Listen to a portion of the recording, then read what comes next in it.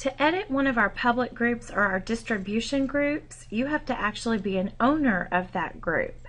And if you're the owner, then you sign into your Office 365 account and you're going to click on the cog or this little gear in the upper right hand corner and select Options. From the Options window, you're going to select Groups from the left and you will see a list of distribution groups or public groups that you belong to as well as a list of distribution groups that you own. So to edit the group, you have to be one of the owners. I will edit the CTI group, but you will of course select the group that you want to edit. So I go ahead and select it, and I can click the edit button, or I can double click on the name of my group. From this screen, I can adjust the name, or I can adjust any notes to myself about it, but I want to I want to take a look at the options over on our left. Under ownership, I can add additional owners. I highly suggest you have two or three owners of every public group so that you're not the only one who can make these changes. When I click on membership, this is where I can add or remove members.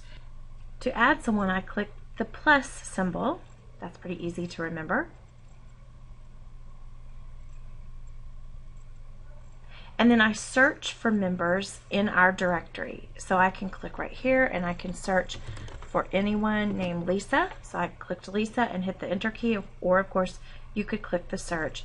And then I scroll down and I find the Lisa that I want and I select them. Notice what happens when I double click on their name.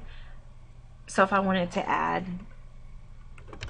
another person, I could add that person. I'm double clicking on the name. You could also click the plus symbol. Once I get all of the people up here in this list, I'm going to select OK. In this case, I'm going to cancel because I'm just using that as an example. If I need to remove someone from the list, I'll remove Betty, but I'll put her right back in. I'm going to select her name and just simply click the minus sign. So here's a quick little reminder. I'm going to click the plus and add Betty back in. If it doesn't come up the first time for you, which I've had a few problems with that, then just close that window and open or hit the plus symbol again.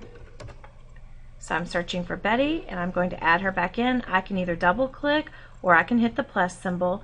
It goes right here. I click OK and I have now added, added Betty back into our list any changes that you make here, you need to hit the save button. And once it saves, your public distribution list has been updated.